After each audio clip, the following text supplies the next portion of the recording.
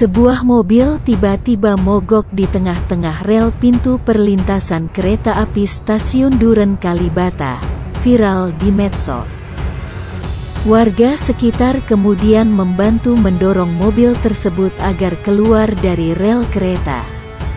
Tidak lama setelah mobil berhasil lolos dari rel tiba-tiba kereta KRL melintasi perlintasan kereta tersebut.